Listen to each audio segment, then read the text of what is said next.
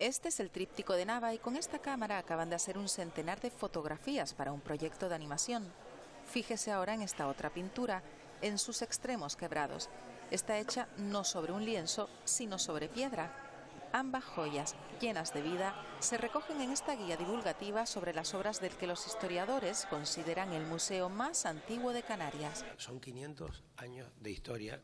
Hombre, eh, llevamos más tiempo que nadie preparando esta colección que tenemos hoy. El catálogo persigue mejorar la experiencia de los visitantes y les acompañará por la habitación que alberga los cuadros del Museo del Prado, espacios sobre la religiosidad como la de un canario nacido en el barroco Juan de Miranda, o la Sala Negra, donde reposan los metales que Maribel Nasco cedió a la oxidación o este hermoso Oscar Domínguez. Un adelantado a su tiempo, diría yo, ¿no? Eh, su forma de vida, su forma de concebir el arte, es lo que refleja en sus obras. A través de esta herramienta didáctica elaborada por un equipo multidisciplinar se quiere conseguir el acercamiento definitivo del museo a la ciudadanía.